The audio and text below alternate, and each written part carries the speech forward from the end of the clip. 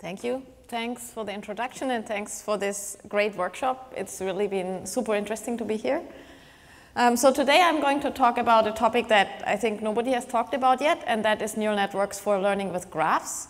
And since this is Friday I'm going and it's a new topic, I'm going to keep it really, really simple.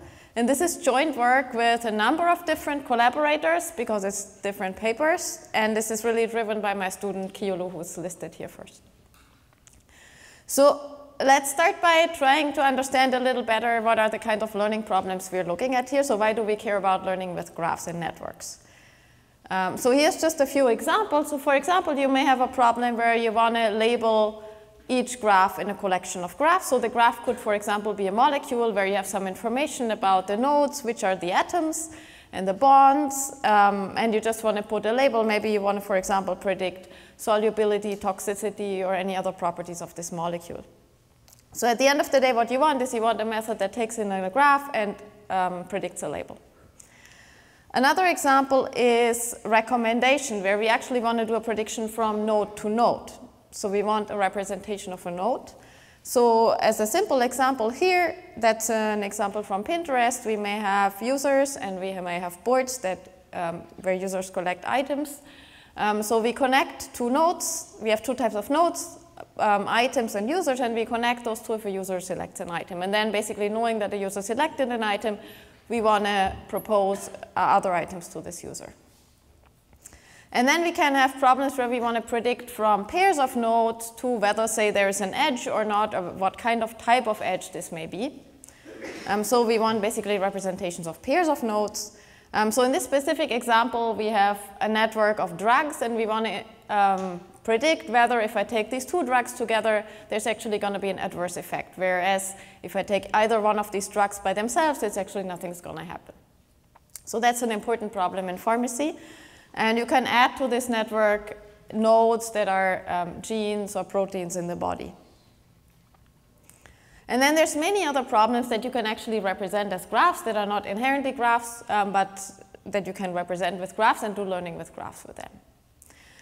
So at the end of the day, if we look at all of these problems, what we really want is we want a learning method that takes a network where we have information about nodes, possibly about edges, and gives us a representation of the network and of the nodes in the network, and then we can do learning with that. And that's the typical approach that people take, and it basically does both of these two things together. We have a, get a representation for the nodes and the entire network. So the typical sta standard approach these days is to do this with a neural network. So we have our net graph.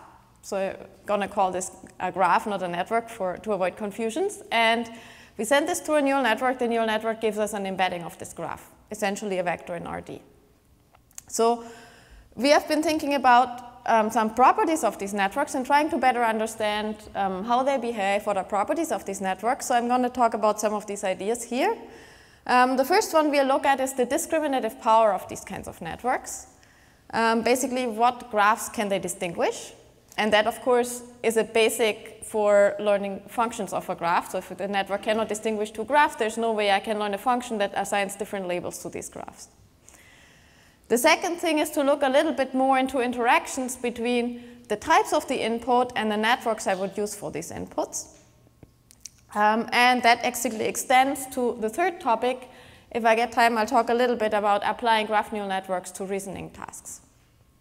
So let's start by understanding how do these graph neural networks actually work. So there's two views on them. Here's the message passing view. So what we have as an input, we have a graph. For each node, we have um, features. Basically, you can think of a feature vector for each node in the network, and we want to compute a representation of the graph. So the usual way to do this is to um, do it aggregation based. So basically what we do is we proceed in rounds and in each round each node acts as a center node and collects information from its neighbors, meaning it collects the feature vectors from its neighbors, aggregates them into a new representation and then combines it with its own representation. And this can be done in various ways. You could, for example, average those. You could do some max pooling. You could do something else. Um, and usually combine this with some nonlinearities. And so you do this over and over again, and each round corresponds to a layer in this neural network. And then once you have done this several times, you take all the features that you have co computed for each of the nodes, and then you collect them and put them together into a representation of the entire graph. And again, there's different ways of doing this and different architectures differ in how they do that. Essentially, you do some kind of, you can again do an averaging, you can concatenate them, you can do something more complex. Um, and of, obviously, if you think about it, so in basically round one, I'm collecting information from my neighbors. In round two, my neighbors have also collected information from their neighbors, so I'm essentially already collecting information from a two-hop neighborhood, and so on and so forth.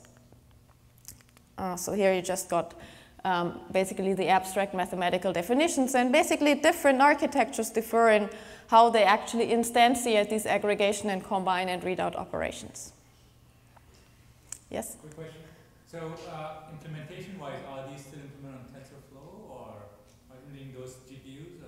Yes, you can. There's, there's packages for implementing those, yes. And so you'll see like how it corresponds to net, you know, networks and like, I'll, I'll have that in the next slide. Um, so this is basically the message passing view, but we can try to connect this a bit more closely to neural networks. So let me just unroll these operations. So here again, we have an input graph.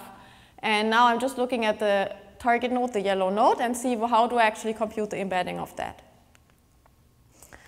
And here is essentially the unrolling of the operations I described. So basically the, net, the node A gets input from its three neighbors, and those neighbors get input from their neighbors. And now these boxes that we have, you can think of them as mini neural networks. They are basically the aggregation operations. We apply some transformations, we aggregate those, and send it to the next level. And so you see what I'm actually doing is I'm basically computing a representation of my node as a function of its neighborhood. So the neighborhood we see on the right-hand side, um, it has multiplicities. The node A appears there also. Um, and what I'm using is these aggregation operations. Now in these aggregation operations, typically in each layer they are shared. So you can think of these now as layers. Basically, the gray boxes are essentially the same function. So I'm having shared weights that limits um, the number of parameters I have to learn. And that, that helps, but it also puts some restrictions on what I can actually, the function classes. For example, if these are um, shared weights, basically the functions I'm learning in these gray boxes have to be invariant basically to the number of nodes I'm putting as input. So they have to basically apply to a single neighbor and to 10 neighbors or more of. So that's a restriction. And the second thing is that as opposed to CNNs, where we have a similar kind of setup, there's no natural na ordering between the neighbors. So there's no nothing that I know this is the upper right corner and upper left corner. So typically these also are assumed to be permutation invariant. And that's the specifics. And today we'll look a little bit more about the role that these aggregation operations actually play. So let's get back to the first question. Um, what kinds of graphs can I distinguish with these neural networks? So basically, it's a question of injectivity. If I give it two different graphs, will they map into the same embedding or different embeddings? And what exactly does this depend on? Okay, so let's go back and think a little bit, how do we actually encode our graphs? So as I said, what we actually do is we get an encoding of each node, and then we put them together. So really, at the end of the day, what we are doing is we are taking this graph and we are basically encoding it via a uh, collection of trees, and each of these trees is rooted at one of the nodes. And then you just, these are basically um, what you get from these neighborhood aggregations. So is this a good representation or not? And then what we're doing is we're not actually explicitly using the trees, we're kind of encoding the trees via our um, aggregations. So is, does this help to distinguish any possible graphs? So to make this a little bit more obvious, think about graphs like this. So there are limitations. Um, for example, very regular graphs, this doesn't work so well. And this question is actually not a new question. So this question is actually a question that many people in mathematics have been thinking about when looking at the graph isomorphism problem.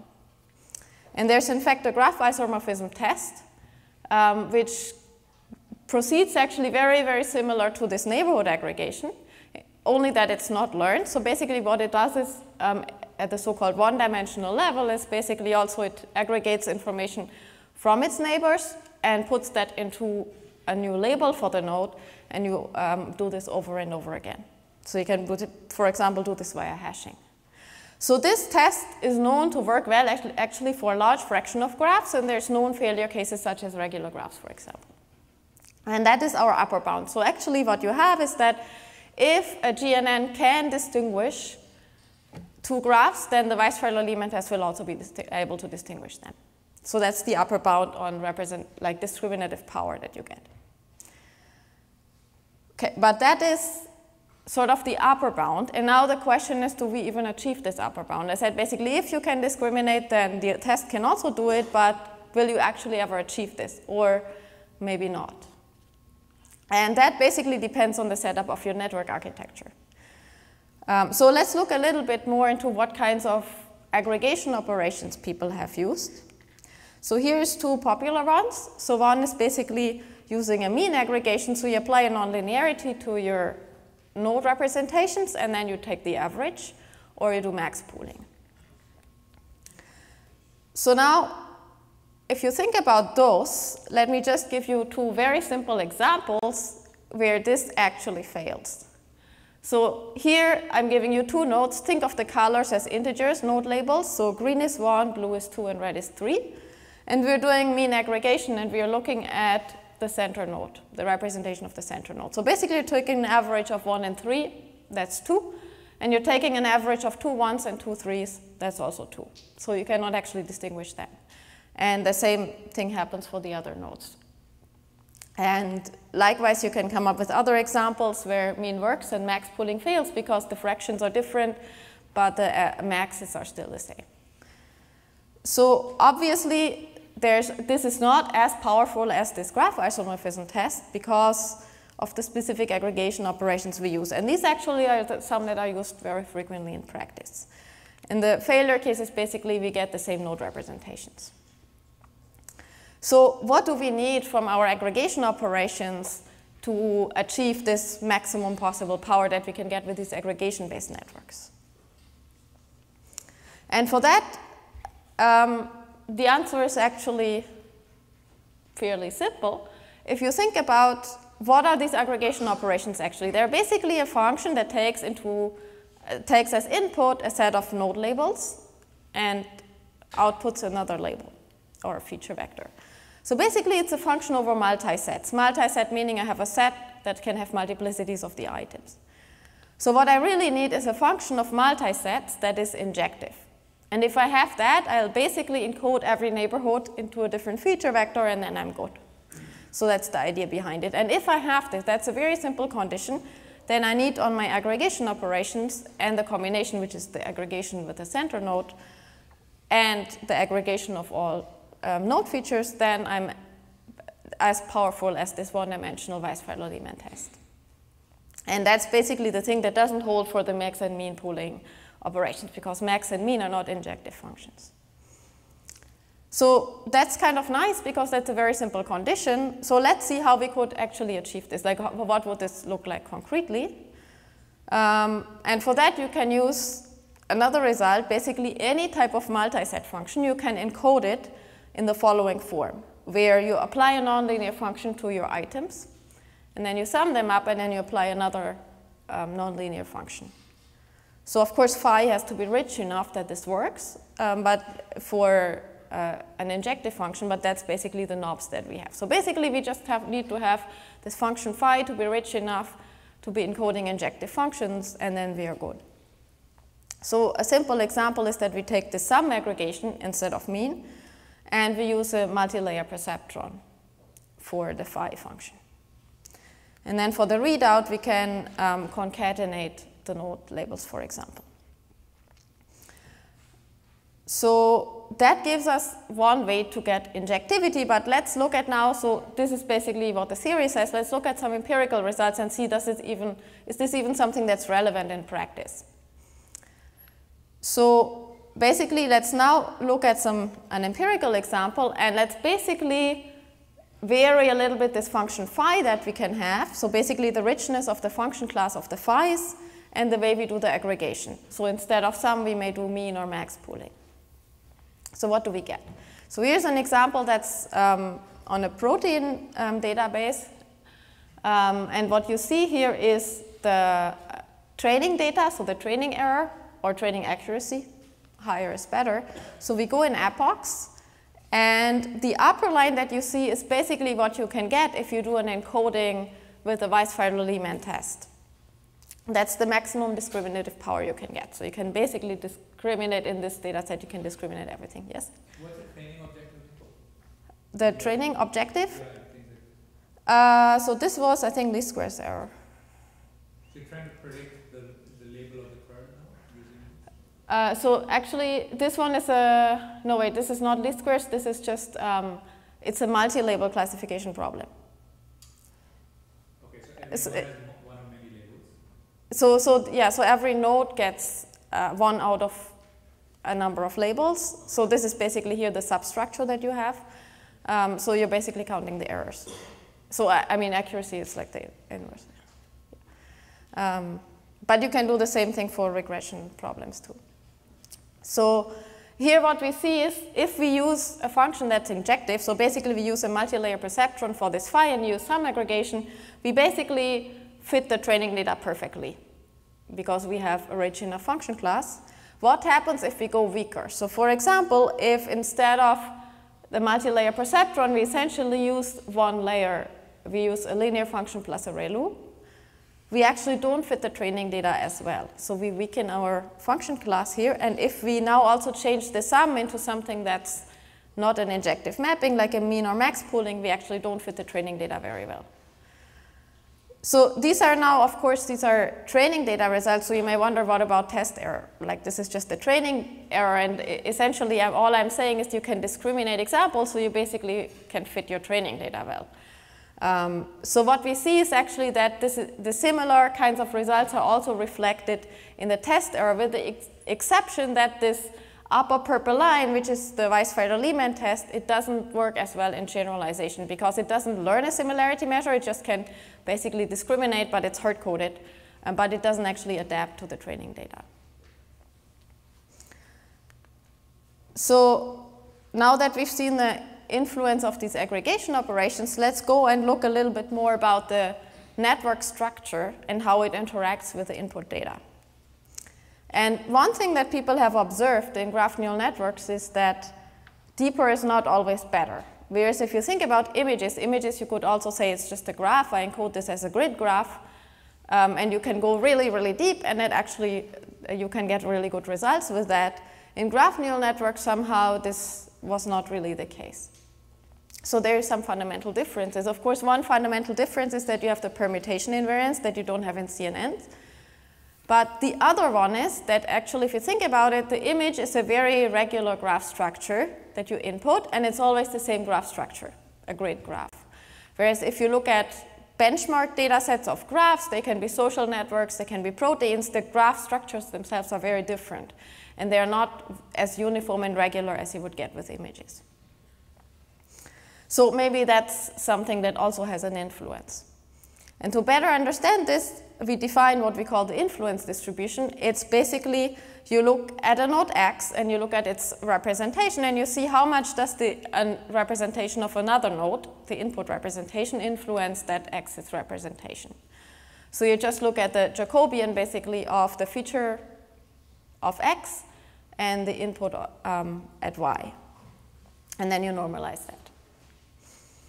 And what you can get basically is these visualizations that you see basically how much is this representation influenced by the neighbors. And now what is this influence distribution? What does it look like?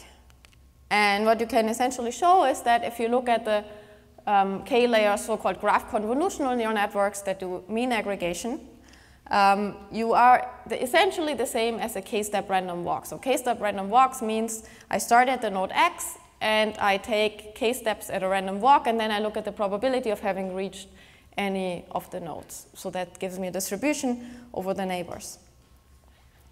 Um, and if you do a ResNet architecture, you basically get a lazy random walk. So this result uses some simplifying assumptions that have been used in the past, which means that instead of explicitly using the nonlinearities, you linearize them by doing randomization. You basically assume that with a certain probability, the ReLUs are active, and then you do expectations over that. So it's not exactly the real model, but so we were curious basically how close is it. So let's look at some examples of the simplified model, uh, basically a random walk distribution and the actual neighborhood influence. And you just look at the colors, it basically looks visually pretty much the same. So it seems despite the simplification, actually this analogy basically holds true uh, pretty much. There's like some slight differences, but it's, it looks pretty similar.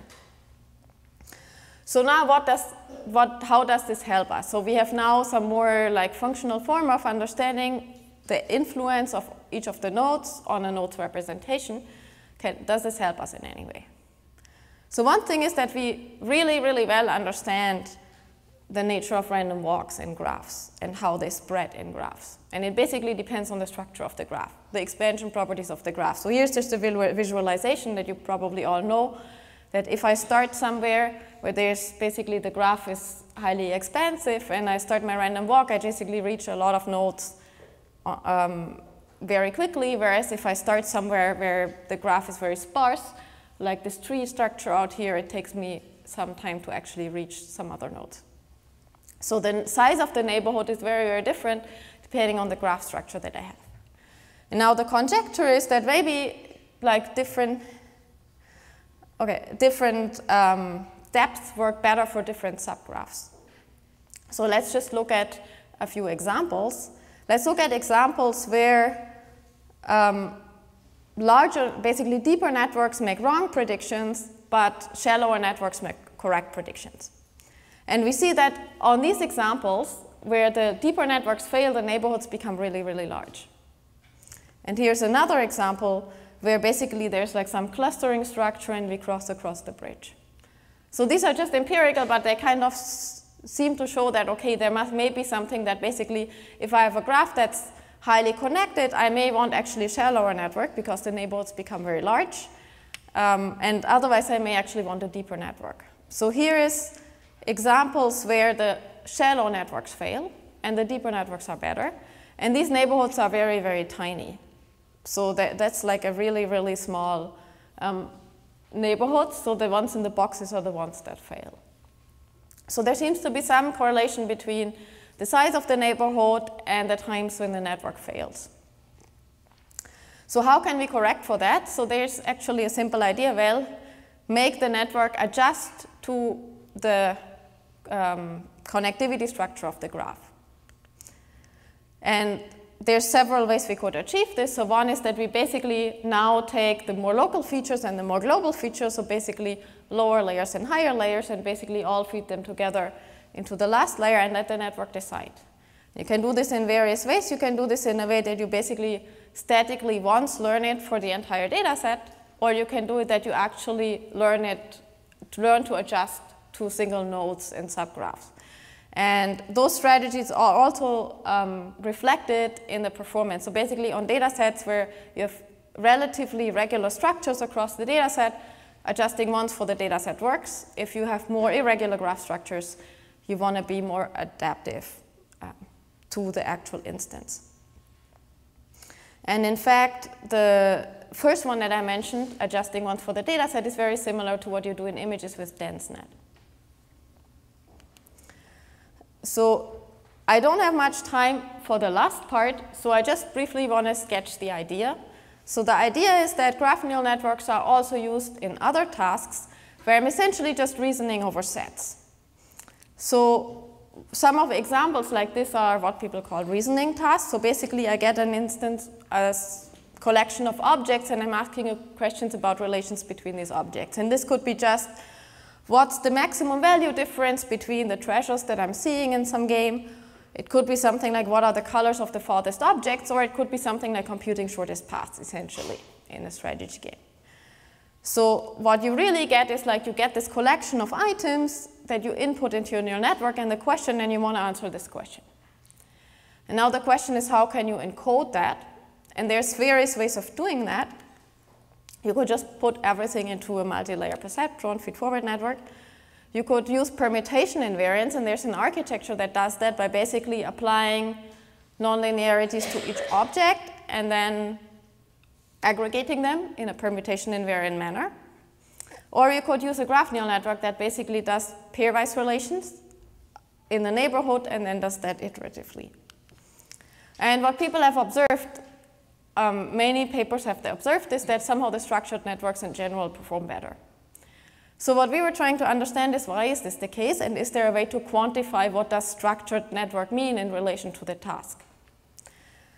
And just very informally, here's a, an idea of how to basically quantify this. We can say like, for many of these reasoning tasks, you can essentially compute them by an algorithm. So an extreme case is the shortest path. And now, if basically the network architecture is such that I can match the architecture by looking at each of these gray boxes, my mini MLPs, and matching them to basically modules of this algorithm, and each of these boxes can be very simple, then I can learn it easily.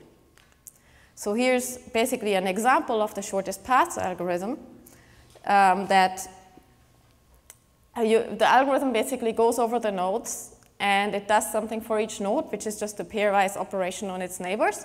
And graph neural network basically does exactly the same. And now there's actually a way we can make this more quantifiable, and we see this also reflected in experiments. So basically the graph neural networks very much align with this versus the others. Basically the entire algorithm you have to encode in one box instead of just encoding that single pairwise operation, which is just a plus and a min. So you have to learn actually much more, a much more complex function. Um, so I'm out of time, so I'm just going to claim that you can see this in the results. Um, you can basically see this reflected that GNNs that have a sufficient depth actually work. Um, and they can basically align with the best algorithm you could get for this problem. You can make this theoretical also and actually quantify this. Um, and that gives a partial explanation, I would say, of why structured networks actually work better for some of these tasks. So with that, let me just conclude. I showed you a few um, questions about exploring the properties of graph neural networks, relating them basically to graph isomorphism tests, looking at their discriminative power, looking at the relation between depth and network structure, and getting more into understanding why structured networks work better for some tasks um, versus some other networks. Thanks.